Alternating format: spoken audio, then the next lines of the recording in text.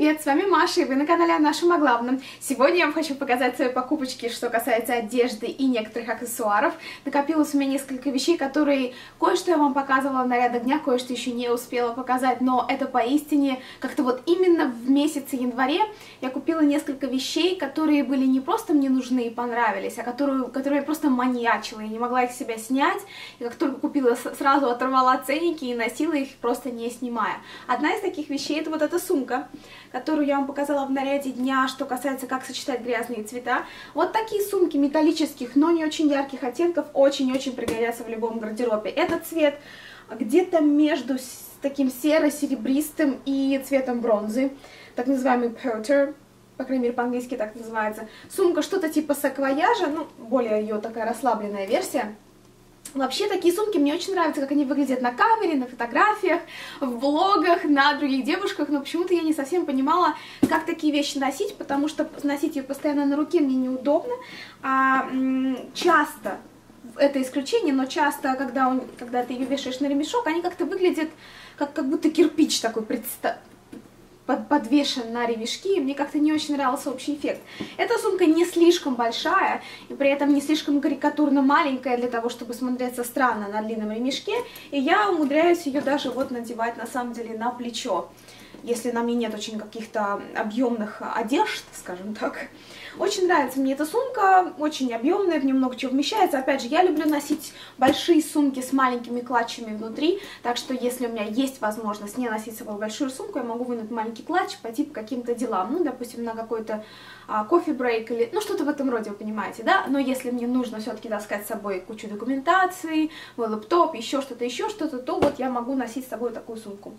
Очень она мне понравилась, она стоила 20 долларов на клиренсе, то есть это была последняя скидка. Изначально она стоила, по-моему, долларов 50, что-то в этом роде. Это, конечно же, не кожа, это кожзам, но мне очень нравится вот то, что она вся такая в металлических studs, в этих в клепках, безумно обожаю клепки. Но единственное, что они настолько безумно популярны были последний год, что ну как только что-то становится безумно популярным, даже если я люблю этот тренд, как-то уже мне не по себе его особенно так использую, потому что начинаешь выглядеть как часть толпы. Но тем не менее клепки я люблю, и я надеюсь, что может быть сейчас мода на них немножко спадает, и я с удовольствием начну их носить снова. Второй предмет одежды, который мне безумно понравился, с которым я не могу вылезти, это вот такой пиндежачок, который я вам тоже показывала в одноименном видео, как сочетать грязные оттенки. И Давайте я вам покажу лейбл, но я не знаю на самом деле, это что-то вам скажет или нет. Нет.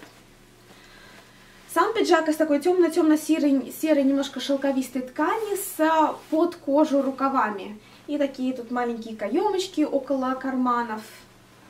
И обратная сторона воротника тоже сделана под кожу. Очень удобная вещь, очень хорошо на мне сидит. На нем всего лишь одна пуговица, то есть он такой больше декоративный. Не то, чтобы он там как-то наглухо застегивается.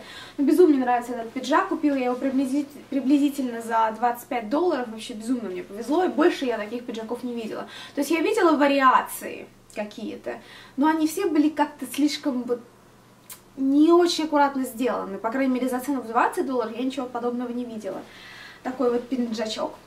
Подхватывая ту же самую тему, а, что касается кожи, какой-то рок-н-ролл, гранж и так далее, я купила себе вот такую фланелевую рубашку в клетку. Я очень придирчива к типу клетки, если честно. Очень многие виды сочетания а, клеток, оттенков и их, как бы сказать, э, крупности самой клетки мне не нравится, я такая вот, я сноб клеточный. Но вот это вот мне очень понравилось, она мне напомнила золотые годы 90-х, вся эта э, культура гранж и так далее, с удовольствием я ношу, сочетаю ее с какими-то тоже, иногда даже достаточно массивными украшениями. Если хочется выглядеть по-домашнему, можно одеть просто с какими-то штанами, юбкой или джинсами. Если хочется добавить некого шика, то нужно, конечно, помассивнее, по агрессивнее обувь и какие-то, ну, допустим, я ношу с ваксовыми штанами, которые, как бы, знаете, под кожу отполированы. Вот очень круто выглядит вместе, очень удобная рубашка, очень ее люблю, опять же, это моя ностальгия по молодости. Далее, тренд, который почему-то, я даже сама не заметила, как-то завладел мною на неделе на три, наверное, вот в конце декабря, в, в январе, Это буро-коричневый цвет, такой цвет между баклажана, сливы и коричневый. Купила я себе такие вот штанцы, они у меня сейчас уже среднем, потому что я, конечно же, их истаскала за этот месяц. Это штаны из э, Banana Republic. Это даже написано Лорен Скотт, какая-то определенная коллекция. А что от них особенного? Я думаю, наверное, тут уже видно, что это такая как бы э, крой, это джинсовый крой, но с напылением из бархата, в таком, с такими вот достаточно витиеватыми узорами в стиле барокко. Безумно мне нравится цвет, цвет этих штанцов. Я очень хотела себе такие же темно-синие, но, к сожалению, не было моего размера. То есть эти штанцы я купила долларов где-то за, не соврать, как-то 33 каждому, не помню. Но что-то вот в этом роде. Но изначально-то они, конечно, стоили долларов 80, если я не ошибаюсь, за полную цену. Мне все-таки было жалко их покупать, потому что у меня такие большие подозрения, что вот это напыление из бархата будет быстро снашиваться на скажем так, на загибах и выступающих частях тела. Поэтому не знаю, сколько они у меня проносятся, хотя мне очень нравится, как они выглядят. И я уже делала на Инстаграм один наряд дня вместе с ними. И второй предмет одежды, который очень похож на эти брюки, но это немножко другая текстура. Это я уже купила в магазине Loft. Такая вот юбочоночка. Это черный подклад с темно-баклажаново-сиреневым цветом. У, у этого кружева уже нет никакого коричневого даже намека. Это именно такая вот темно-темно-баклажаново, какой-то почти фиолетовый цвет. Очень мне понравилась эта юбчонка, но это классическая юбочка-карандаш. Она мне самую малость, вот, вот, вот буквально вот этот пол где-то вот сантиметр нам великовато, и все-таки мне хотелось бы, чтобы она сидела ровно на талии, а сидит она немножко больше на бедрах. Вот это меня слегка расстраивает, потому что мне нравится, когда эти такие юбки сидят именно на талии, именно то, что я заправляю в них обычно какой-то блузон, и если этот блузон начинает вываливаться уже на бедрах, как-то, мне кажется, пропорции силуэт, силуэта немножко смещаются. Ну вот это можно подшить, как-то подработать еще, посмотрим. Но сама юбка мне очень нравится, досталась она мне, по-моему, за 35 долларов, на, опять же, на скидке. А, в Loft, Loft это компания, которая принадлежит Ann Taylor, и, в принципе, Loft, Banana Republic, Ann Taylor, Black and White Market, Limited и же с ними. Это магазины, в которых всегда стоит заходить, когда у них дополнительные скидки. У них бывают скидки до 70%, так что стоит присмотреться, а качество выделки вот этой одежды очень-очень-очень даже приличное. Это не та китайщина, которую вы можете заказать на каких-то там левых сайтах, это достаточно хорошо сделанные вещи. Следующий предмет одежды, который я купила, по которому я просто с ума схожу, это теперь на данный момент мое любимое платье. Это вот такое платье, э, как бы с запахом на уровне груди, потом под грудью отрез, потом еще один отрез на уровне талии, и дальше оно такое вот не чуть-чуть клешеное, а, ли, а линии кроенное платье до колен. Это достаточно плотный трикотаж с вот такой вот, опять же, черно-красной клеткой. Опять же, меня это все относит ко временам, опять же, 90-х, Вивьен Вествуд, не знаю, такой, такой вот гламурный женственный панк, или гранж, если хотите. В общем, мне очень нравится, это такая, знаете, как вот Мадонна очень часто в таких платьях ходила, по-моему, в начале миллениума, даже в каких-то клипах у нее были подобные, такие очень женственные, очень будуарные, можно сказать, какие-то чуть ли не спадающие с тела, облегающие очень нежно платья. И вот это мне платье как-то не знаю, оно меня очень вдохновило, это бренд Talboots, а, бренд, который на самом деле не очень популярен у молодых девушек, э, как-то у них достаточно такая одежда, ну часто она такое ощущение, что сделано для женщин очень-очень сильно за 50. При этом даже многие женщины в Америке, которым сильно за 60, все равно говорят, что это для них слишком старомодно. Но при этом иногда у них вот бывают какие-то вот, вот пары, две-три вещи, которые великолепно сделаны, хорошо сидят, и за счет сочетания классического кроя, но интересного принта, они вот очень интересно выглядят. Вот это как раз тот самый вариант, я обожаю это платье. Я уже даже сделала видео с нарядом дня. Еще один топ, это уже как бы не такая, чтобы прям ах, покупка, но покупка необходимая. Мне нужно было какой-то свежий персикового цвета топ, и вот я купила такой топ, где же это было? Это было в магазине Loft, как видите, ну, такой очень миленький, да, то есть ничего супер особенного, здесь немножко собранные рукавчики, а он, опять же, собран на резинке внизу, он такой Вот он здесь вот весь присобран, потом он так идет немножко вширь такими складками, и потом опять собирается на уровне бедер. Очень удобный, приятный топ, очень он мне нравится. Я пару, по-моему, в одном или в двух видео вы уже, наверное, на мне его видели. Еще один топ, который еще не надеванный. Все берегу-берегу, это полупрозрачный. Обожаю такой трикотаж. Вот как раз лофт, Banana Republic и Anteller, они умеют делать такой тончайший, как вот паутинковый трикотаж, который достаточно хорошо носится. Это вот тот самый вариант, это полупрозрачное, не знаю, здесь видно или нет, полупрозрачное трикотажное такое плетение с каким-то серо, темно-синими разбросанными цветочками. Очень мне нравится, как это выглядит для заманушки. Здесь такая черная, более грубая молния сзади, для придания ему какого-то интереса. Единственное, что я когда я его мерила, я хотела убедиться в том, что он не слишком прозрачный все-таки. То есть я предпочитаю в таких вот предметах одежды намек на прозрачность, нежели тот факт, что вам приходится ломать голову и думать, боже мой, что-то под это надо надеть, да, то есть какую-то то ли майку, то ли топик, и вот можно из одного предмета одежды перековырять весь гардероб и все равно найти, с чем бы его можно было прилично носить.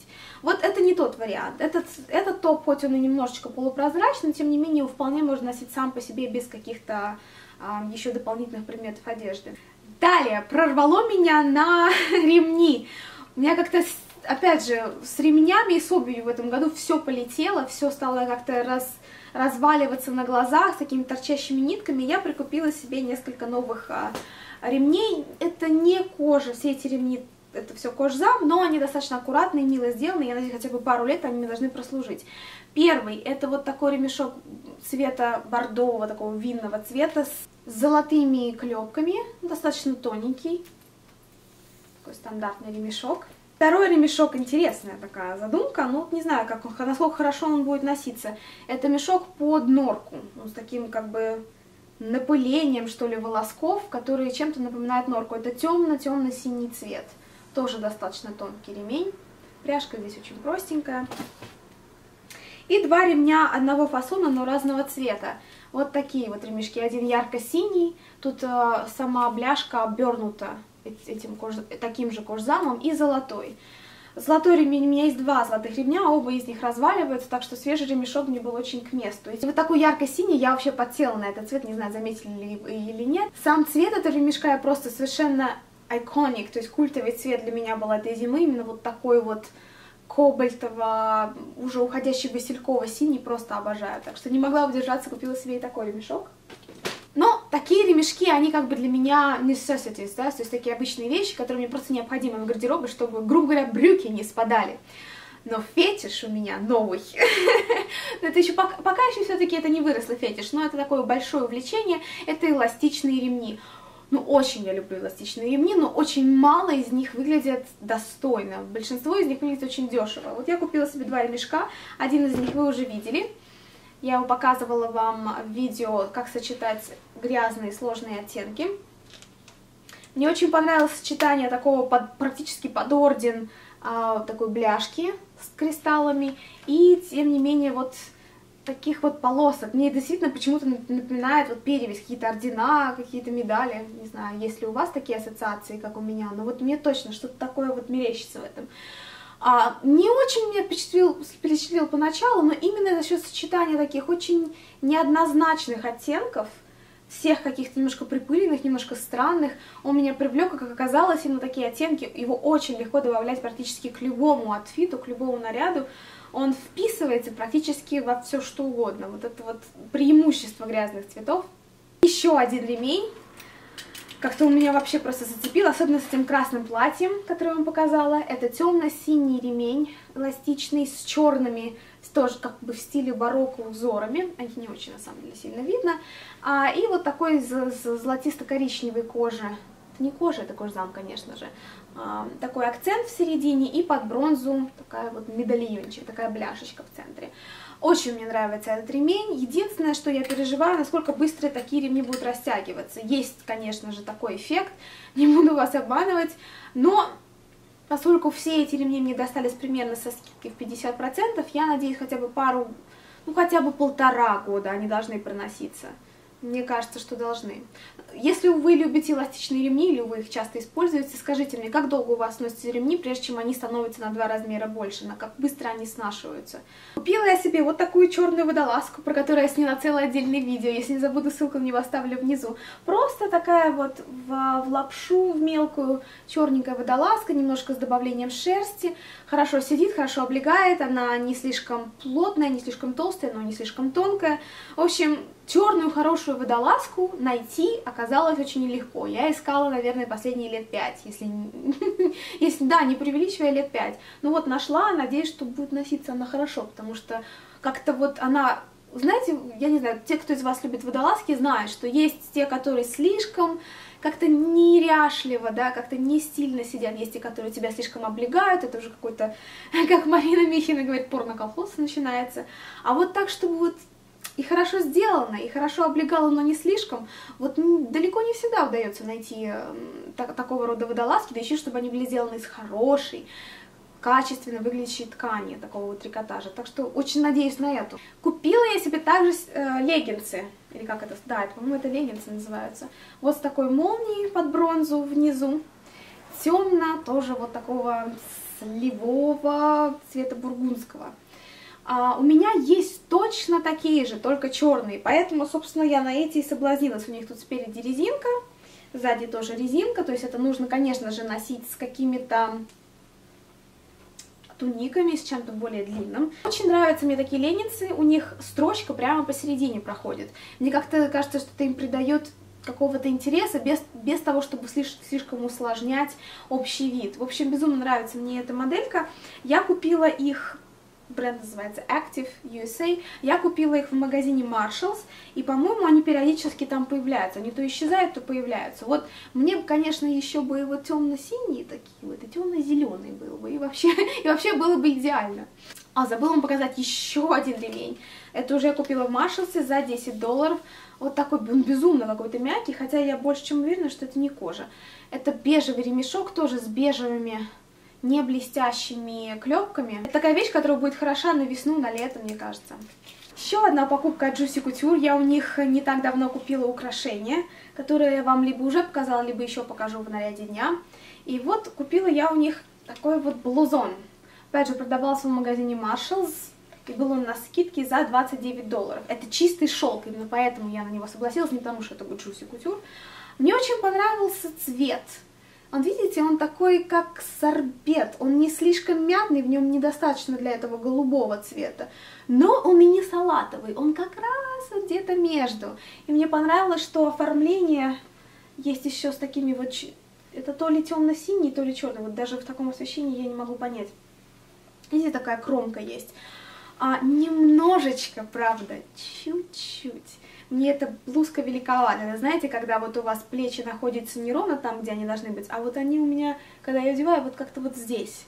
При этом она, конечно, не то, чтобы она мне висит или сваливается, но я не могла удержаться. Чистый шел, девчонки, ну не могу. И цвет такой вкусный, и стиль такой незамыленный, да, то есть это чем-то мне лакос напоминает, вот как они делают одежду. В общем, безумно мне понравился этот блузон, и тут как раз у нас оформление пуговиц, вот такие вот золотые пуль, пулечки небольшие. Вот я переживаю, что как-то я уже привыкла к тому, что одежда должна лежать вот точно так. Вот точно так, как надо. А то, что вот чуть-чуть буквально у меня вот как-то оно так не спадает, я не знаю, понятно я выражаюсь или нет. Ну, хорошо, я вам сделаю наряд дня с этой блузоном. Вы мне как раз скажете, что по этому поводу думаете. Может, все-таки надо ее вернуть, но мне так жалко, так она мне нравится. Ну, вот чуть-чуть, самый малость великоват. Ладно, я вам покажу, вы мне потом скажете, что по этому поводу думаете. Один из трендов весны у нас собирается быть, это cropped tops, то есть это обрезанные достаточно высоко топы. И я решила по потестировать этот тренд на себе, хотя мне он кажется очень ювенальным.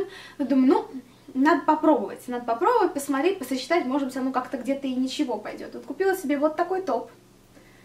А, мне он понравился тем, что он достаточно консервативно сделан в целом, сам крой. То есть единственный акцент такой рискованный, который здесь есть, это, конечно же, вот это вот цветочный оттенок, но он такой, знаете, в стиле э, итальянской моды или там, у Лоранта в каком смысле. То есть единственный рискованный э, акцент здесь, это, конечно, его длина, что он заканчивается вот прям вот, ну вот, наверное, столько ниже линии груди. А пока еще я не поиграла с ним достаточно, чтобы сказать вам, буду я его оставлять или нет. Вот я, наверное, сделаю какие-то вариации наряда дня, и вот как раз мы вместе решим, оставлять мне его или нет. Вообще идея мне казалась интересной, и сам топ такой вроде бы ничего, да? Мне кажется, он, у него есть потенциал, мне так кажется. И последняя вещь, это вещь, которую я, к сожалению, буду возвращать, хотя она мне безумно нравится. Это тот самый вариант, когда топ выглядит очень симпатично, очень остромодно, но не носибельно в реальной жизни. Это вот такой топ. Тоже он достаточно cropped, но тем не менее, вот этот как раз а, заканчивается ну, как раз ровно на талии, то есть его не заправишь, он должен как раз, вот его нужно носить с юбкой или с брюками с завышенной талией и одевать его сверху. Мне безумно нравится и текстура, и вот эти вот аппликации в виде такого вот что-то вроде кружева, безумно мне он нравится, но он настолько прозрачный, девочки, это, я не знаю, это только в будуаре можно носить, там, не знаю, можно одеть, чтобы сразу его снять. И как-то и покрутилась перед зеркалом в нем. Выглядит он круто, ну круто он выглядит, но видно. То есть белье видно вне всяких сомнений, ну прямо вот in your face, то есть, а, то есть, когда я вижу такие фотки в журнале модном или на catwalk, да, то есть на подиуме, это выглядит круто, в этом что-то есть. Это и секси, и edgy, то есть это и сексуально, и несколько с вызовом, но, но не, ну не пойдешь же так на улицу, ну серьезно, я вот, ну если бы я только не знаю, ну честно, я не могу себе представить, куда я бы могла в этом пойти, вообще не могу. То есть только дома крутиться перед зеркалом. Вот я... Поэтому вопрос к вам, что вы по этому поводу думаете, по поводу таких полупрозрачных топов. Я попыталась надеть его с облегающим просто таким топом маечкой. Это не выглядит красиво. Это все равно бросается в глаза, что там майка под этим топом, это отвлекает. Он лучше всего действительно смотрится с таким полуспортивного кроя бельем. Но, но это очень очень бросается в глаза. Тоже это были все мои покупки в плане одежды и аксессуаров за прошедшие месяцы. Если вам понравилось это видео, можете оставить оценку, можете поучаствовать в обсуждении внизу в секции комментариев, можете подписаться на мой канал, чтобы оставаться на связи, или можете показать это видео друзьям. Спасибо вам большое за внимание, желаю вам всем хорошего дня. Пока!